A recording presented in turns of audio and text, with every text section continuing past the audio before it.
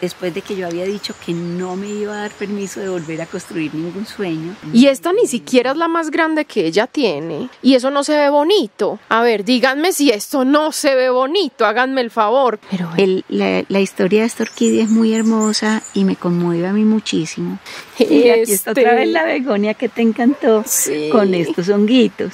Necesitamos la técnica para que nuestros anturios crezcan así. Y yo creía que esto era una jaulita de pájaros y no. Hola, ¿cómo están? Yo soy Candy Boo. Bienvenidos a un nuevo video, chiquillos. Este video me emociona mucho presentárselos porque la historia que hay detrás de las personas que empezaron a crear este jardín es muy bonita. Han sido personas desplazadas por los grupos armados aquí en Colombia. Tristemente es una realidad que todavía se vive. Me llegó muchísimo y me encanta ver cómo después de todo ese dolor, sufrimiento y de tener que dejar sus cosas y su tierrita, empezar desde cero es, un acto de súper valentía, me parece a mí, volver a construir esos sueños desde abajo. Esto es el fruto de esos 16 años llevan construyendo este jardín, tienen la cantidad de plantas, de especies que ni se imaginan, casi todas nativas de Colombia en su gran arrolladora mayoría. Entonces me encantaría que disfrutes de este video, que te pongas cómoda ahí, cómodo en tu casa y aprecies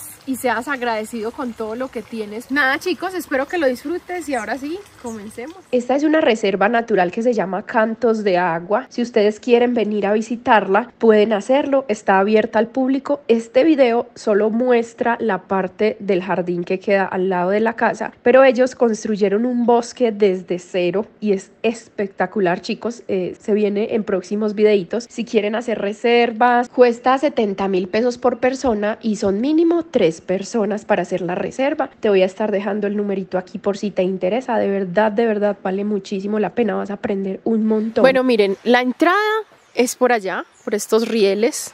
Desde ahí, chicos, se empiezan a ver cosas muy bonitas. Tiene por aquí unas Monstera Thai variegadas preciosas. Tiene este santosoma gigante que le está creciendo ahí al ladito. Tiene muchas plantas amigables para los polinizadores como estas. Mira, hay muchos anturios por ahí trepando las paredes de esto. Mira qué lindo, mira, escucha el agua. Por eso se llama cantos de agua esto aquí. Que hay mucha agüita corriente.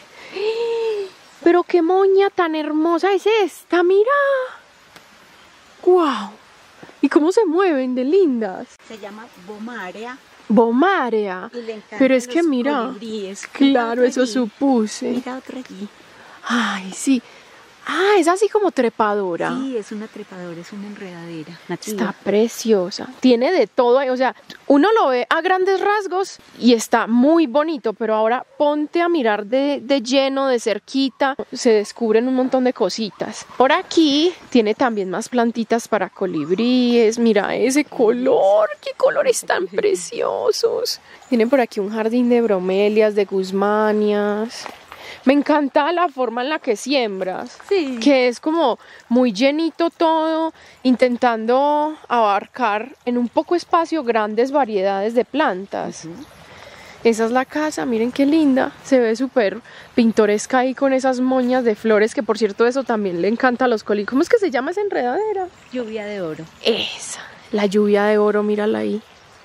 Preciosa. ¿Cuál fue su inspiración? Eh, mi inspiración, el amor por la naturaleza. Y otra cosa es cuando uno empieza a descubrir todas las interacciones que, te- que se tejen ahí, entonces eso te motiva a sembrar otras plantas. Por ejemplo, yo te contaba, para colibríes, como sabemos, nos gustan mucho los colibríes, pero entonces hay que sembrarles. Si uno quiere ver colibríes, hay que sembrarles plantas para colibríes. Exacto. Que hemos sembrado más de 180 especies para colibríes, entre árboles, eh, arbustos, enredaderas, gingeriáceas, que ahora te mostré en el bosque varias, esa que acabaste de, tomar allí moradita también. Y esa es como la inspiración, cuando uno ve que se teje la vida a través de las interacciones, claro, uno empieza a sembrar y a sembrar y a sembrar. Y aquí tienes ya de todo. Esa siembra le, le ha llegado muy lejos, déjeme decirle. Ahora yo te decía, el suelo lo estamos cubriendo o con plantas, o sea, con coberturas vivas o coberturas muertas. Aquí ves como una hay cosecha de guayaba y se pierde porque recogemos todos los días y no alcanzamos. Las guacharacas y otras aves también recogen guayabas, pero se, se pierden muchas. Eh, y el suelo entonces se cubre o con hortalizas o con plantas aromáticas o con hierba, pues, o con, eh, pues, con hojas, con hojarasca. Sí, que de la misma poda que hacen va saliendo y también se ayudan. Y me parece sorprendente que dices que incluso le ha ido mejor a las hortalizas y vegetales ahí en la pata de los árboles que por su cuenta. Es que mira esa col. Les gusta mucho como la compañía de, del árbol y además, como todo el manejo acá se hace orgánico, no utilizamos para nada agroquímicos, ni de abonos, ni de... No se utilizan insecticidas, no se utilizan herbicidas, no se utilizan, no, fungicidas, no se utilizan ningún químico.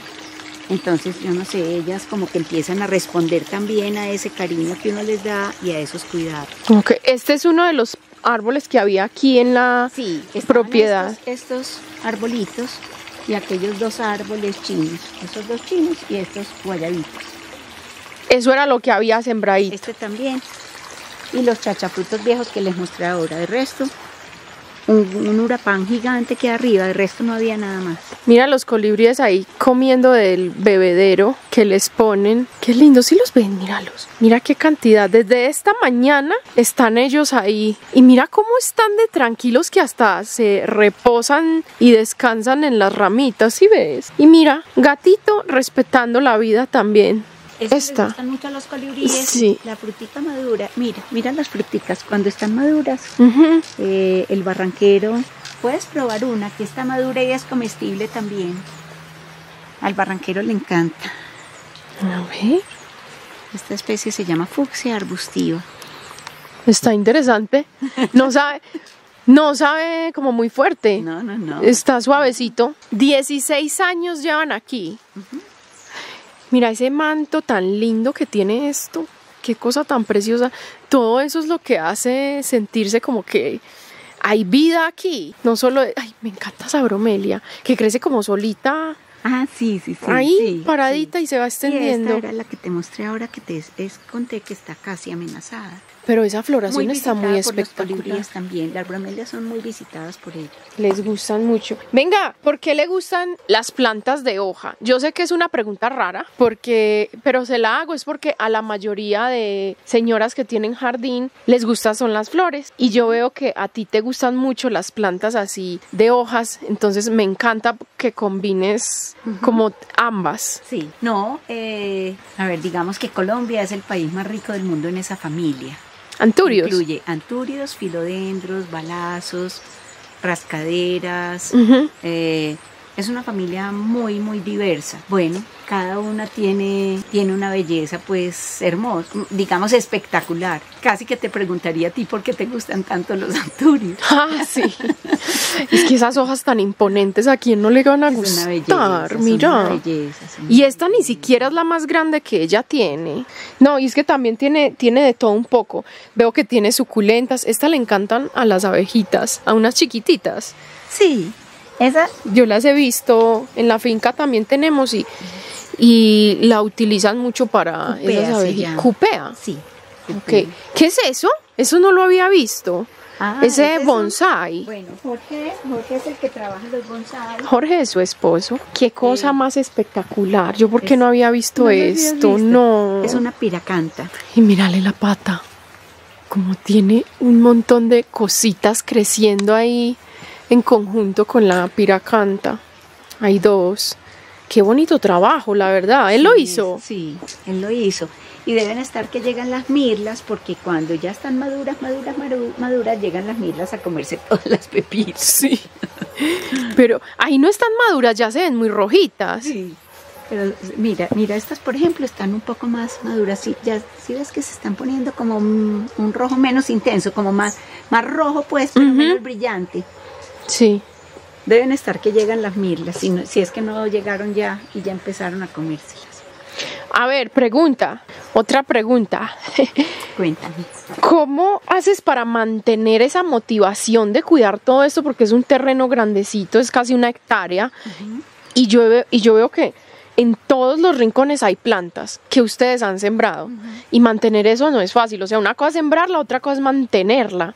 ¿Cómo haces para levantarte todos los días y decir, no me da pereza ir a, a buscar qué hacer afuera? Bueno, a ver, la visión de nosotros en el mantenimiento es un poco diferente a la que se hace en muchas partes. Para nosotros, tú ves, mantenemos muchas coberturas que la gente considera que son maleza. Digamos que los plateos de los árboles se mantienen con cobertura, entonces ahí se evita uno el, la deshierva de muchas cosas. Digamos que en, cuando se deshierva se extraen como especies como muy, muy, muy claves que son muy invasoras solamente. Ya no es de hierve todo porque es que cualquier hierbita es fea, no. Para, no, la, visión de nosotros es diferente. es- Ah, eso ya. está generando hecho, vida, sí. entonces es un poco diferente. Aquí ¿cierto? se alcanza a ver Ay, incluso mira, un poco. mira, esta es una begonia nativa. ¡Ay, qué linda! Miren qué belleza como está en flor. Y los colibríes llegan a visitarla también. Miren la belleza. está las preciosa. florecitas. ¿Tú dijiste que eras bióloga o botánica? Bióloga. Entonces también nace mucho de ahí, Sí, también nace mucho de ahí. de la biología. Y desde lo que te decía, que es que desde niña el contacto con la naturaleza ha sido para mí muy grato, entonces es lo que le gusta a uno. Esto es solo una, una parte de lo que tiene. Ay, ¿sabes qué me gustaría? Que me cuentes un poquito de esta. Bueno, por aquí tienen este lago con, con peces koi. Ah, y bueno, aquí al lado... Ajá. del norte de Sudamérica, es nativa. Eh, se llama Pontederia. Eh, le gusta estar, incluso, mira, hasta metida en el agua. Ujú. Le gustan sitios húmedos y le gusta estar metida en el agua. Está declarada como planta invasora, pero a nosotros nos parece muy hermosa. Para el agua es, pues para lugares húmedos es excelente. Y yo te explicaba que estas plantas que a veces se crecen suave. demasiado, Ujú. lo que hacemos es que las podamos cuando necesitamos materia orgánica para hacer el compost o para hacer el bocashi. Ah, sí. Entonces les sirve no solo porque la podan y liberan ahí un poquito de toda su invasión, sino que también les ayuda a esa materia orgánica y volver a, a abonar por ahí. Sí. Esta también es, le gusta mucho el agua. Esta la es, mucho. Le gusta mucho el agua, los sitios húmedos. Y mira, aquí casual, una cebolla creciendo entre todo. Está muy bonito. Eso quedó espectacular aquí, me encanta. Que es, es Y que, mira, mira esa hoja de allá grande que está detrás del chorrito. sí, Esa especie es hermosa, se llama hoja de pantano, es una especie nativa. Que también. también le dicen gunera, Qué inmensa, ¿cierto? hermosa. Me encanta. ¿Cómo fue ir creando todo esto? Porque obviamente esto no se creó de la noche a la mañana. Es, son 16 No, son años de 16 trabajo. años de exacto. trabajo. Sí, son 16 años de trabajo. ¿Ha- ¿Han habido proyectos que ustedes digan, no, esto no, no resultó, esta planta no pegó, esto ya no me gusta? Sí, una que otra, no, que, nos, que no nos gusten, no. Eh, pero una que otra que uno dice, sí, cree que va a aprender y no, no prende, pero realmente han sido pocas las especies que no nos han funcionado. Es que siembran todo con mucho am- amor y empeño. Bueno, ahí sí tú acabas de dar la clave. Ajá. Yo pienso que la energía que uno pone a circular mueve, mueve montañas. Y si uno logra conectarse con esa energía amorosa que hay en la naturaleza, ya empiezan a aparecer como, como cosas por arte de magia. Es magia. Va es mostrando como el camino. magia. Sí. Esta idea me encantó, de verdad que la voy a Mira, tener muy presente. perejil. Sí, Este aquel apio, Mira esta la- cedera, esta para ensalada es deliciosa. ¿Quieres probarla? sí. A ver. ¡Wow! ¡Ah, limón! Sabe a limón. ¿Y es que? Mm, Pruébala. Es una acedera. Está muy rica. Deliciosa, deliciosa. Sí. Nosotros generalmente le mezclamos de esa a la ensalada. ¿Qué ¿Quieren supo? llevar? Llevan ahora para la finca. Ay, gracias. Mira eso, qué hermosura. Yo diría que tiene aquí atrás como un tesorito escondido. Es que mira caminar entre estos jardines, entre todas estas plantas, se siente riquísimo. Además que ellos alimentan muchos animalitos, entonces viene aquí de todo. Chicos, eso es lo que yo quiero con este video. Si algo se pueden llevar de este video, que sea por favor, que uno sí puede sembrar cosas juntitas. Porque aquí se acostumbra mucho que solo hortensias en un lado, solo anturios en un Ah, sí, lado, sí, sí. eh, solo flores en el otro. bosque no es así. Exacto, el Es que bosque no es así. queremos como imitar el bosque porque sabemos que la naturaleza es sabia, ¿cierto? Ujú. Y queremos imitar lo mismo, o sea, es- el bosque es biodiverso.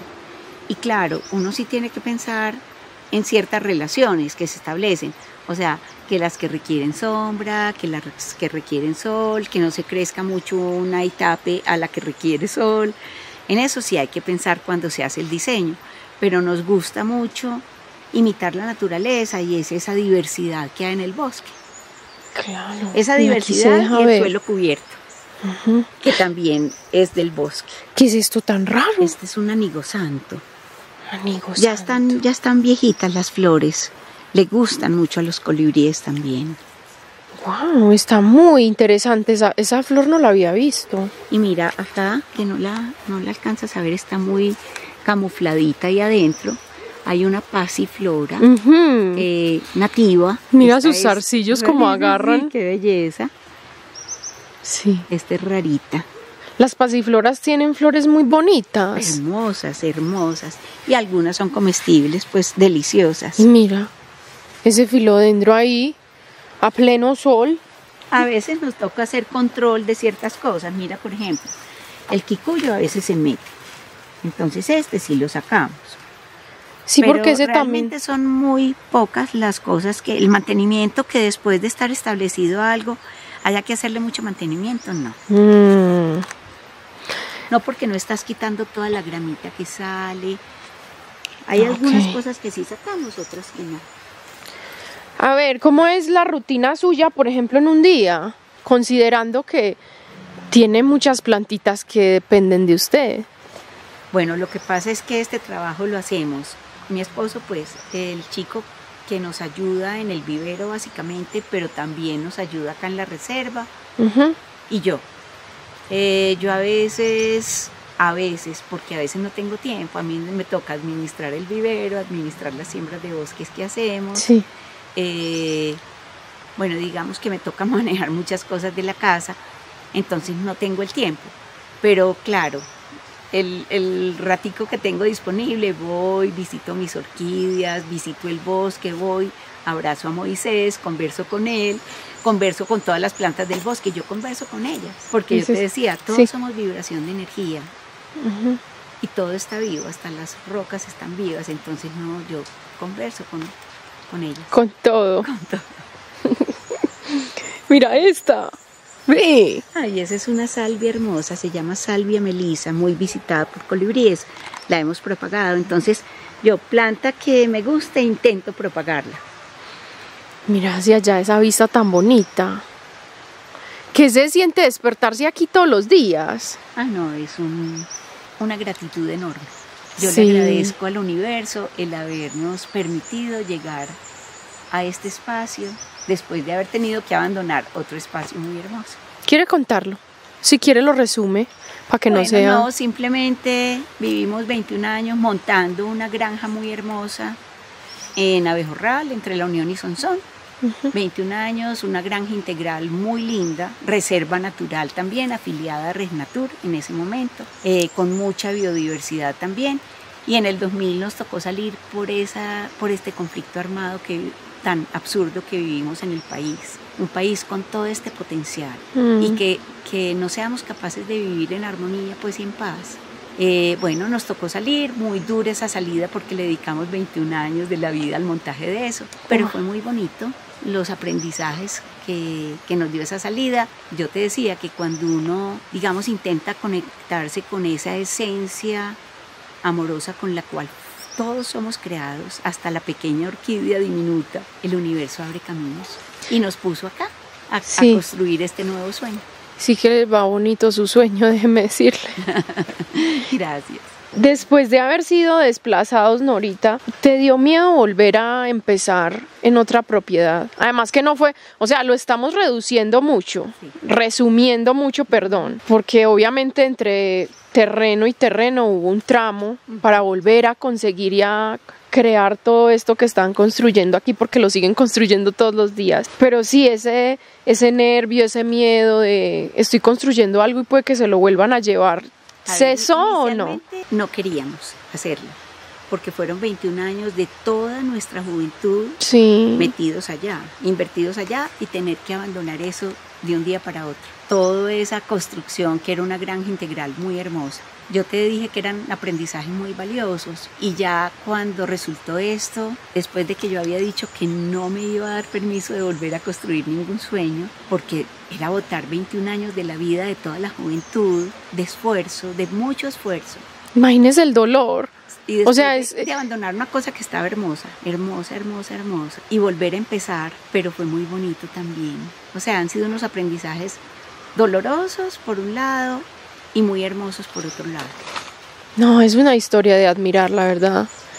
Esta mañana que, me, que la escuché por primera vez, como que me llegó demasiado. Y sí, es, esto es el producto de todo ese amor y empeño que sí se permitió volver a soñar. Qué bueno, excelente me parece. Usted yo creo que tiene una gran ventaja y es que es bióloga. Entonces, por ahí también tiene como el pastelito. Y por eso creo que sabe muy bien como qué combinar con qué, ¿cierto? O ha sido también mucho de, a ver, intentemos y si se da bien y si no también. Ha sido mucho de eso también, de ensayo, ensayo, ensayo, ensayo. Y si uno ve que la plantica no está contenta ahí, entonces la pone en un sitio un poco más luminoso o la pone un poco más a la sombra.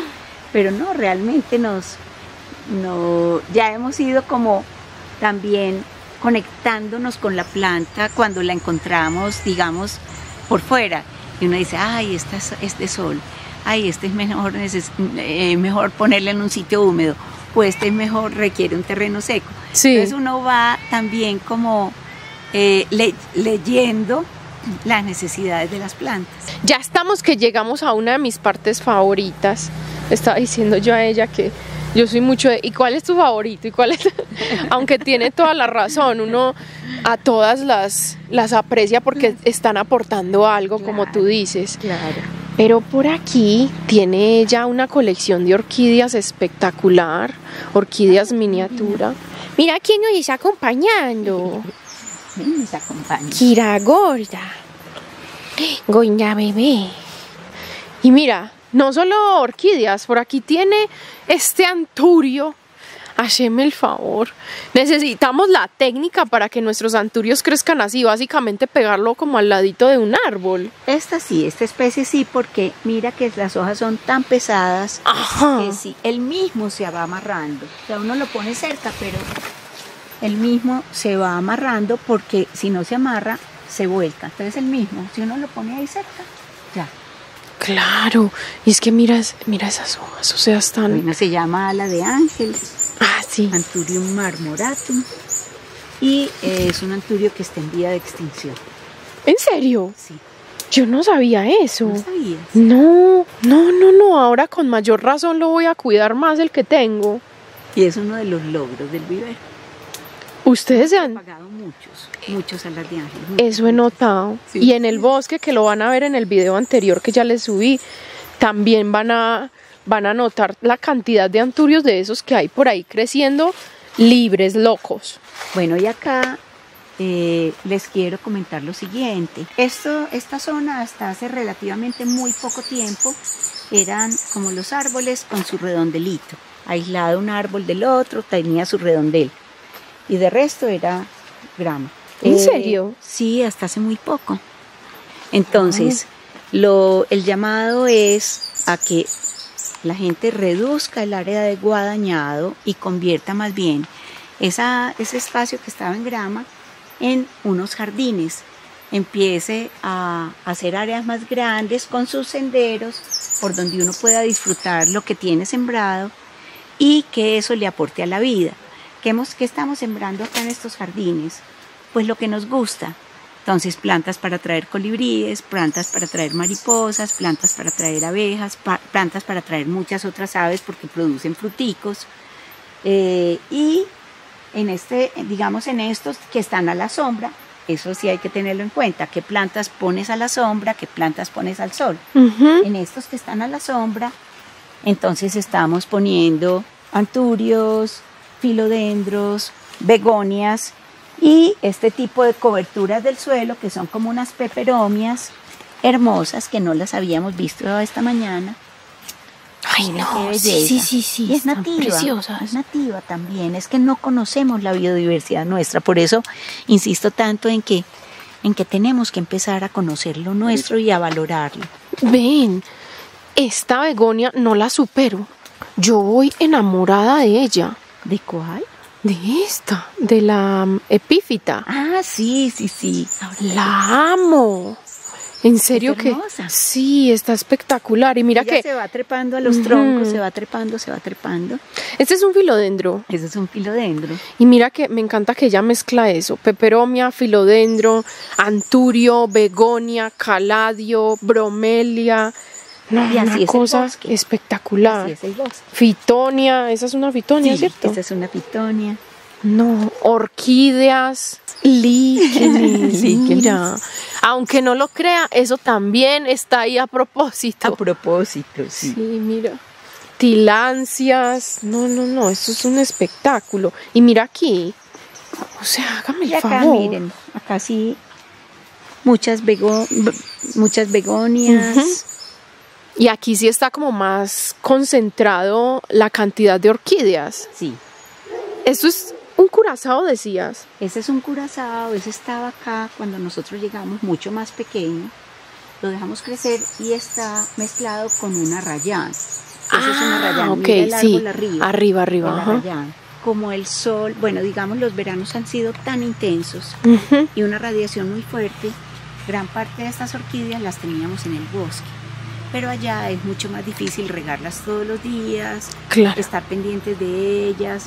Entonces decidimos traerlas para acá y ponerlas acá en este sitio, que además regamos con frecuencia, tiene esa que retiene mucha agua, entonces mantiene también el sitio muy húmedo. Y, y las orquídeas están relativamente bien. Hay que sí, porque hay que venir, quitarle sus hojitas feas. Ven todos esos palitos. Cada uno de ellos es una orquídea, está albergando una orquídea. Y ella menciona... eso hemos hecho mucha división de las orquídeas entonces, cuando ya hay una planta muy grande, saca un pedacito y lo pego a otro tronquito. Eso es como lo que se ha venido haciendo. Ella menciona mucho que hay que regar seguido. Creo que tiene mucho que ver porque la mayoría son miniaturas. Entonces, esta belleza, no abierto del todo, pero es una más de valia picturata. Y se sabe un montón de nombres esa cabecita. Entonces, eh, en parte están recién sembradas. Sí. Sí, sí, sí.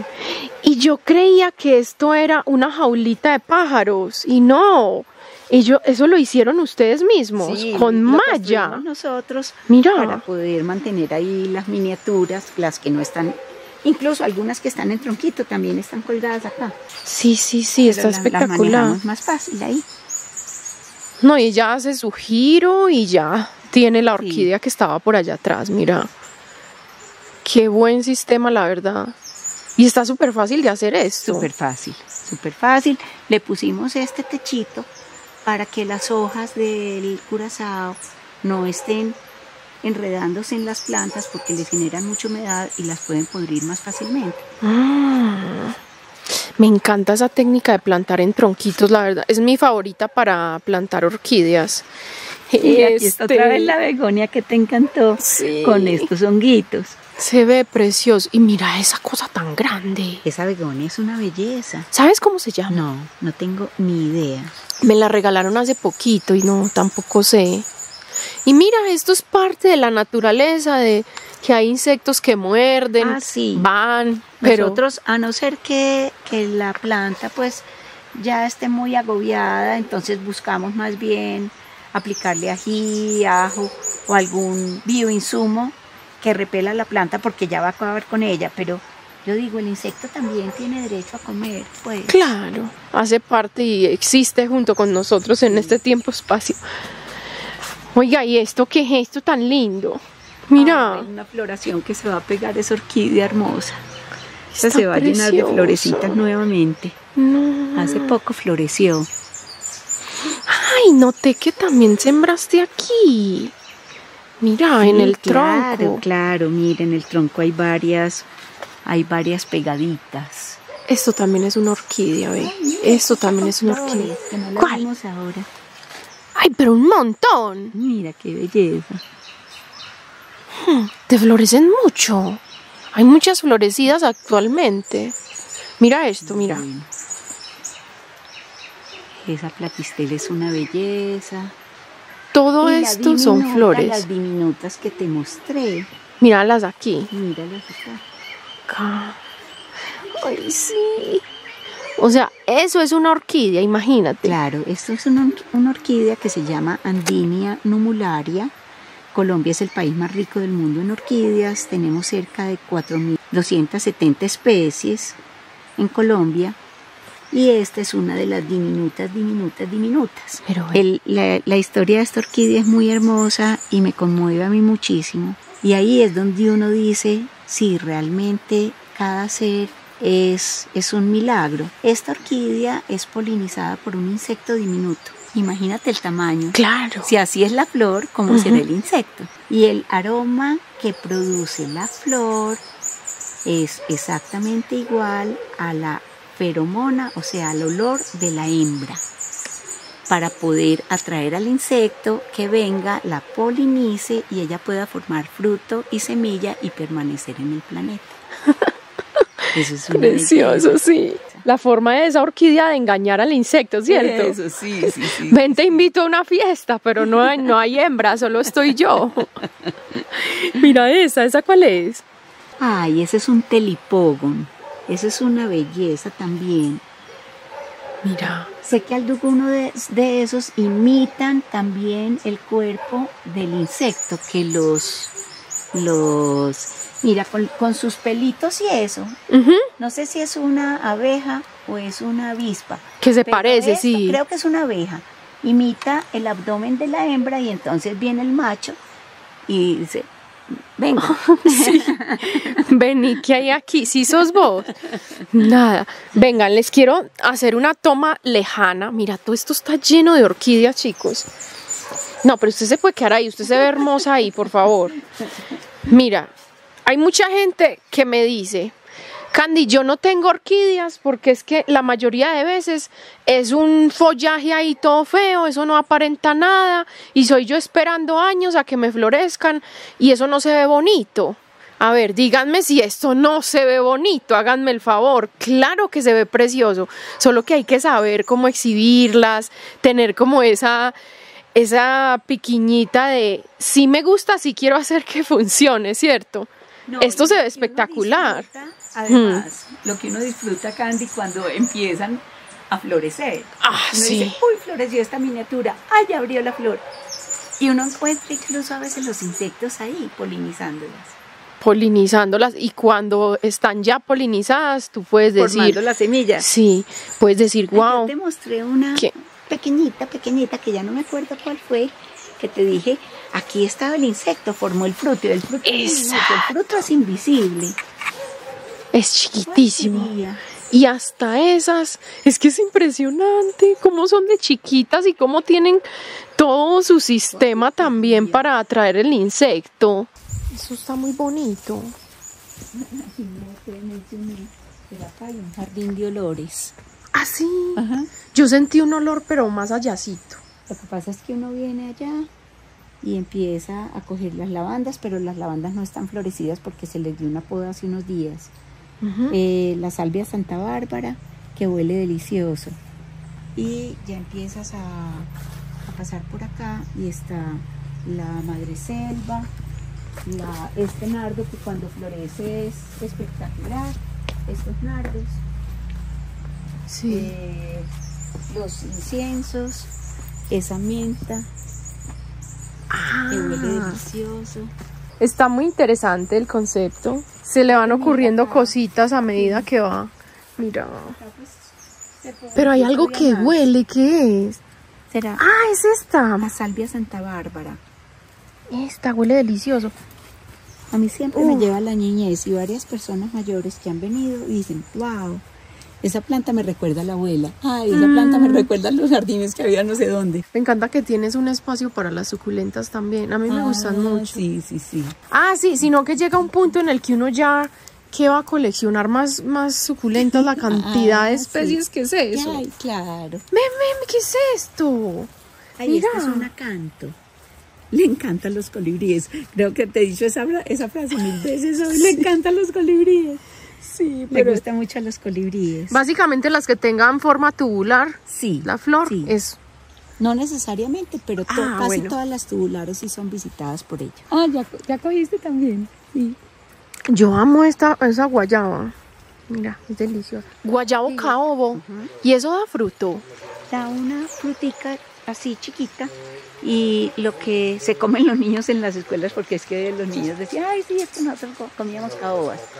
Es la, la cascarita, porque la semilla es muy grande, no tiene casi pulpa, solamente la, la cascarita. Mira, esas son las pilas de compost. Entonces aquí tenemos una así de tres cajones y otra arriba. Entonces lo que hacen es irlas pasando Sí, entre ellas. sí, se llena cuando tiene por ahí esta altura.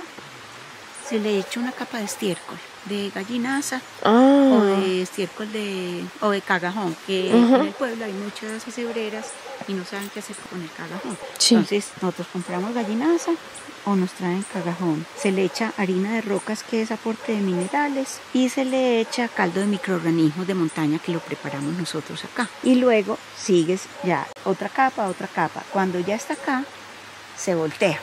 Y después del volteo, cinco semanas para salir el compost. Ahí ya está casi listo. aquí está ya, ya listo, ya este se está gastando.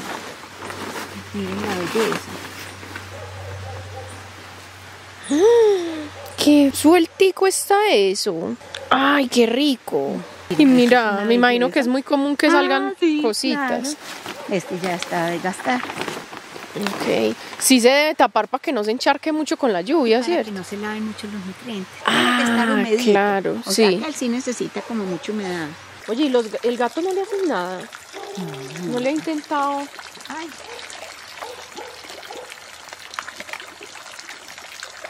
Ay, qué rico. Qué rico ese tiro. Como se ponen de enérgicos. Esta es una ballena. Ah, sí. Sí, ese no es un koi, sino una ballena ya. Este es un molinillo. Es que a la Magnolia Hernández y que a Moisés, pues y al hermanito, los llaman molinillos u hojarascos. Ese es el nombre común. Y molinillo por esto, porque el fruto, esta es la parte interna del fruto. Y aquí están pegaditas las semillas rojas, rojas, muy vistosas como las que les mostré en el libro. Sí. Y el campesino le pone, lo perfora y le pone un tal palito y con esto bate el chocolate. Ah, sí. Y yo venía es que a mostrarles la colección de tilancias, por eso está muy interesante. Que por cierto, dentro de la casa también tiene matas. Adentro también tiene. Un vistacito de los anturios que hay aquí, filodendros, ve. Qué bellezas. Este es el costado de la casa, mira qué bonito. Por aquí no los trajimos, pero también está súper bien cuidado. Me encanta. Ve, arbolitos frutales conviviendo con plantas ornamentales. ¿Qué es eso tan lindo? Mira. Y lo que nos gusta mucho es que es sitio de anidación de los cucaracheros. ¿Ah, sí? Y el gato no se puede subir ahí fácilmente. Ah. Entonces. Un gane y gane por hacen- todas claro, Uno a partes. veces ve que salen pichones y pichones y pichones. Uy, qué lindo. Bueno, chicos, esperamos que hayan disfrutado este recorrido.